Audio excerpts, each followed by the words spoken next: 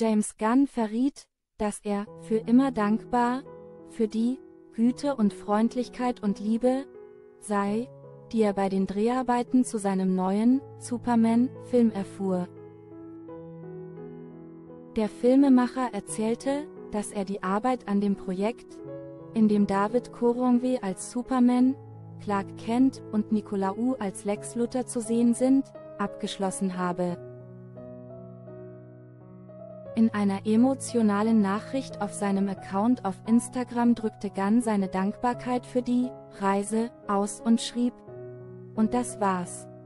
Gott segne unsere Besetzung und Crew, deren Engagement, Kreativität und harte Arbeit dieses Projekt zum Leben erweckten. Ich nahm mir vor, einen Film über einen guten Mann in einer Welt zu drehen, in der es nicht immer so gut ist. Und die Güte und Freundlichkeit und Liebe, die ich täglich am Set erlebte, haben mich inspiriert und mich weitergebracht, als ich mich zu erschöpft gefühlt habe, um alleine weiterzumachen. Ich danke euch allen von ganzem Herzen. Es ist mir eine Ehre gewesen.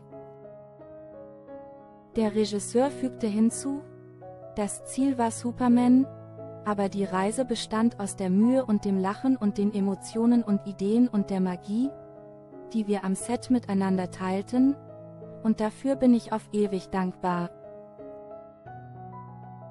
Fahim Fasli, der zum Superman-Cast gehört, kommentierte den Beitrag des Regisseurs, um ihm für all seine harte Arbeit zu danken.